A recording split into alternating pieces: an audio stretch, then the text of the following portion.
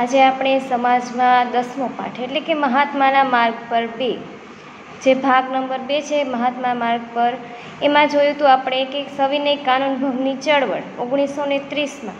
પછી આપણે એના પછી જે પૂર્ણ સ્વરાજ્ય મળવાનું હતું, એના જે દાંડીકૂચ ઓગણીસો ત્રીસ ગાંધીજીએ અપનાવી હતી સવિનય કાનૂન ભંગની ચળવળ પછી દાંડીકૂચને જે આંદોલન થયું હતું ઓગણીસો ત્રીસમાં. એના પછી આપણે ગોળમેજી પરિષદો શીખી ગયા અને ઓગણીસો પાંત્રીસનો હિન્દ સરકારનો કાયદો. જે હિન્દ સરકારના કાયદામાં કોણ હતું કે ડૉક્ટર રાજેન્દ્ર પ્રસાદ વિશે આપણે માહિતી મેળવી હતી, પાકિસ્તાનની માંગણી. પછી જે મુસ્લિમ લીગના જે નેતાઓ હતા, એમણે શું કર્યું હતું કે પાકિસ્તાનની માંગણી જે ઓગણીસો ચાલીસમાં એના વિશે આપણે જોઈ ગયા.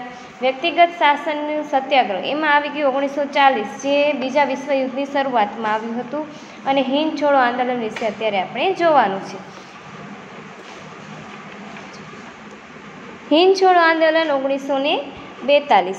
એમાં છે કે બીજા વિશ્વયુદ્ધ પછી મહાત્મા ગાંધીજીએ અંગ્રેજો વિરુદ્ધ આંદોલનનો એક નવો અધ્યાય શરૂ કર્યો હતો. એટલે કે આપણે બીજા વિશ્વયુદ્ધની શરૂઆત પછી જે આપણે હિંદ છોડો આંદોલન ગાંધીજીએ અપનાવ્યું હતું, એમાં આપણે એના વિરુદ્ધનો આંદોલનો છે જે બ્રિટિશ સરકારો વિરુદ્ધ આપણે અધ્યાય શરૂ કર્યો હતો. અધ્યાય એટલે નવું આંદોલન. તેમણે અંગ્રેજોને ચેતવણી આપી કે તાત્કાલિક ભારત છોડી દો. એટલે અંગ્રેજોને શું કીધું હતું કે ભારત છોડીને હવે તાત્કાલિક જતા રહ્યો. ગાંધીજીએ ભારત જનતાને આદેશ કર્યો કે તેઓ કરેંગે યા મરેંગેના મરેંગેના સિદ્ધાંત પર અંગ્રેજો વિરુદ્ધ અહિંસાથી સંઘર્ષ કરશે. એટલે જે ગાંધીજીએ પછી સૂત્ર આપ્યું હતું, કરેંગે યા મરેંગે, એટલે કે ક- કાં કરી બતાવો અને કાં જે દેશ માટે મરી જાઓ એમ. તો આ અંગ્રેજો વિરુદ્ધ જે સૂત્ર આપ્યું હતું, એમાં સંઘર્ષ, અહિંસાથી એમણે સંઘર્ષ કર્યો. અને મુંબઈમાં મળેલી કોંગ્રેસની મહાસમિતિના બેઠકમાં આઠમી ઓગસ્ટ ઓગણીસો બેતાલીસની રાત્રે હિંદ છોડો નામથી ઓળખાતો નવો ઐતિહાસિક ઠરાવ પસાર કરવામાં આવ્યો. એટલે હિંદ છોડો નામનું આંદોલન ચાલુ કર્યું અને એના એ નામથી ઓળખાતો નવો ઠરાવ પસાર કર્યો. ઐતિહાસિક ઠરાવ. ગાંધીજી અને અન્ય નેતાઓની તરત જ નવમી ઓગસ્ટના રોજ ધરપકડ કરવામાં એટલે હવે આ આંદોલન શરૂ કર્યું એટલે શું થયું કે ગાંધીજી અને એમની સાથે જે નેતાઓ એમાં સત્યાગ્રહમાં જોડાયા હતા, એમની શું કરવામાં આવી? પોલીસ એટલે બ્રિટિશ પોલીસો દ્વારા એમની ધરપકડ કરવામાં આવી, જેનાથી લડત વધારે ઉગ્ર અને વ્યાપક બની. એટલે જે લડત હવે ચાલુ હતી આપણી હિન્દ હિન્દોની એમાં શું થયું કે હવે એમાં ક્રોધ અને વ્યાપકતાનું લક્ષણ આવ્યું. સમગ્ર ભારતમાં સભાઓ, સરઘસો અને દેખાવો સમા, સામાન્ય બન્યા. ખેડૂતો અને યુવાનો આ આંદોલનમાં મોટી સંખ્યામાં જોડાવા લાગ્યા. એટલે શું થયું? હવે વ્યાપક એટલે ક્રોધ આવી ગયો હિન્દીઓને. એટલે શું થઈ ગયું કે સમગ્ર ભારતમાં સભાઓ સભાઓ એટલે સમૂહો રચાણા, સરઘસો અને દેખાવોનો સામાન્ય બન્યા. એટલે હવે બધા દેખાવ કરે અને આ લડતમાં કોણ કોણ જોડાય વધારે? તો કે ખેડૂતો અને યુવાનો આ સંખ્યામાં મોટી સંખ્યામાં જોડ, જોડાવા માંડ્યા. દેશભરમાં સરકારી મકાનો અને તાર ટેલિફોનો માધ્યમો પર હુમલા થયા. એટલે હવે જે કંઈ કારણે દેશમાં જોડાયા હતા બધા લોકો, ખેડૂતો છે, પછી નવા યુવાનો વગેરે મોટી સંખ્યામાં જોડાયા. એના કારણે શું થયું કે સરકારી મકાનો હતા અને તાર ટપાલ ટેલિફોનો હતા, એમાં હવે હુમલા થવા લાગ્યા. સરકારે સામૂહિક ધરપકડ, જપ્તી અને જેલ જેવી દમનોની બધી રીતો અજમાવી જોઈએ અને આશરે એક લાખથી વધારે લોકો જેલમાં પૂર્યા એટલે હવે શું થયું કે આપણે જે સરકારે આ ધરપકડ અપનાવી કે હવે શું કરવાના છે? આ બધા સત્યાગ્રહ આપણી સામે કરવાના છે આંદોલન. એટલા માટે એમણે બધી ધરપકડ અને જપ્તી બધાને પૂરીને શું કરવા માંડ્યા? જેલમાં બધી જ જે રીતો હતી એ અપનાવવા માંડી. અને એને કારણે પણ શું થયું કે એના લીધે એક હજારથી પણ વધારે લોકો જેલમાં પૂરવાય. અને એક હજારથી લોકો પોલીસની ગોળીઓથી માર્યા ગયા. પરંતુ અંતે આ આંદોલનથી સરકારને ખાતરી થઈ ગઈ કે હવે વધારે સમય તેઓ ભારતની પ્રજા પર શાસન કરી શકવાના નથી. એટલે એક લાખથી વધારે લોકો જેલમાં પૂરાયા અને સો, એક હજાર લોકો જેવા જે માણસો હતા ભારતના, એ હવે ગોળીઓથી માર્યા ગયા. એટલે હવે આ આંદોલનથી બ્રિટિશોને ખબર પડી ગઈ કે હવે આપણે અહીંયા શાસન કરી શકવાના નથી. એટલે આપણે આમને શું કર્યું? સ્વ- સ્વતંત્ર આપણે કરી દેવું પડશે હિન્દને. હવે છે કેબિનેટ કેબિનેટ મિશન યોજના, ઓગણીસો ને છેતાલીસમાં.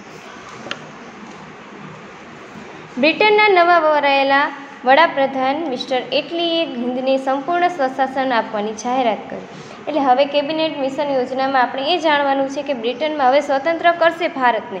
એટલે બ્રિટનમાં જે નવા વડાપ્રધાન યોજાયા હતા મિસ્ટર એટલી એમણે હવે ભારતને શું કરવાનું, આઝાદી આપવાનું વિચારી એટલે એ વિચારીને એમણે જાહેરાત કરી કે તેના અનુસંધાને બ્રિટિશ પ્રધાનમંડળના ત્રણ આગેવાનોનું પ્રતિનિધિમંડળ ભારત આવ્યું. અને એના કારણે આ જાહેરાતને કારણે શું થયું કે એમના ત્રણ બ્રિટિશરોનું પ્રતિનિધિમંડળ એટલે જે બ્રિટિ, બ્રિટનના જે ત્રણ નેતાઓ હતા, એ શું આવ્યા? ત્રણ પ્રતિનિધિમંડળ લઈને ભારત આવ્યા. તેમણે રજૂ કરેલી યોજના કેબિનેટન મિશન યોજના કહેવાય છે અને આ યોજના જે રજૂ કરવામાં આવી, તેને શું કહેવામાં આવે છે? કેબિનેટ મિશન યોજના કહેવાય છે. તેમણે હિન્દના અગ્રીમ હરોળના નેતાઓ સાથે બેઠકો યોજીને નીચે મુજબની દરખાસ્તો રજૂ કરી. અને આ દ્વારા જે આ કેબિનેટન મિશન યોજના જે કરવામાં આવે એના દ્વારા જે કાંઈ બેઠકો જાણી અને એના જે હેતુઓ છે એ આપણે આ નીચે મુજબ છે, અખિલ હિન્દ સમવાય તંત્રની સ્થાપના કરી.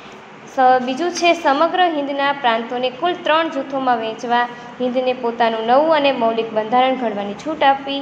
બંધારણ ઘડાય ત્યાં સુધી વચગાળાની સરકાર રચો. જે આ ચાર હેતુઓ છે, એ આમ કેબિનેટ કેબિનેટ મિશન યોજના દ્વારા આપવામાં આવ્યા છે. આ પછી યોજાયેલ ચૂંટણીઓમાં કોંગ્રેસ સારો દેખાવ કરીને જવાહરલાલ જવાહરલાલ નહેરુની આગેવાનીમાં વચગાળાની સરકાર રચી.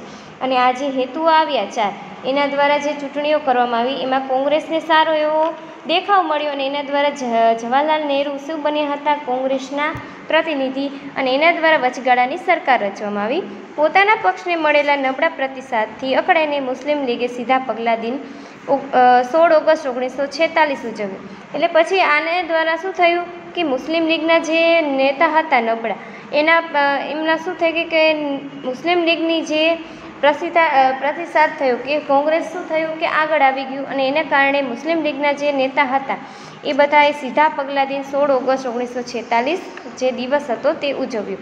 તેના કારણે દેશભરમાં કોમી તંગદિલી ફેલાઈ અને ઠેર ઠેર કોમી હુલ્લડો ફાટી નીકળે.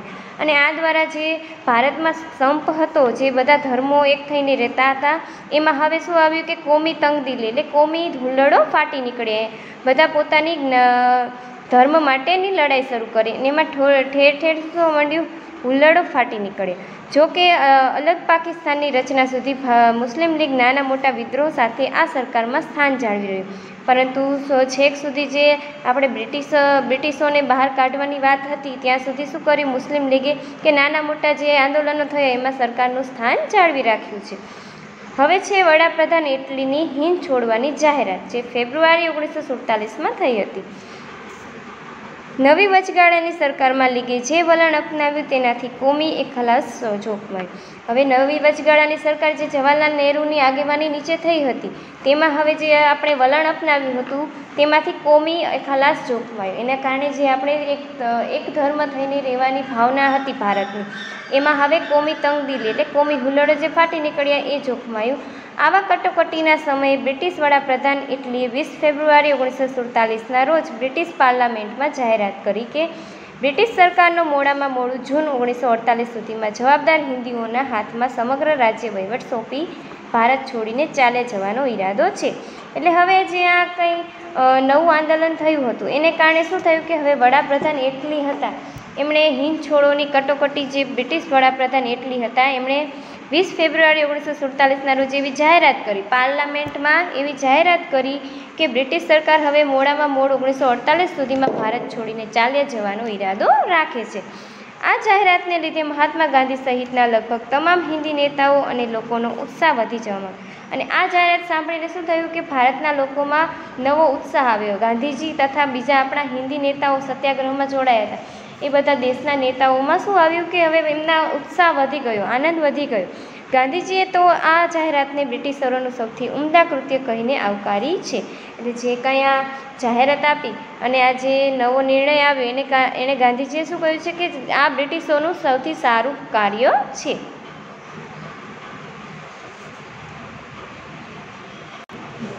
હા, તો આપણે આ પાઠમાં અત્યારે જોયું કે હિંદ છોડો ઓગણીસો અ, આંદોલન ઓગણીસો બેતાલીસ અને કેબિનેટ મિશન યોજના ઓગણીસો છેતાલીસ.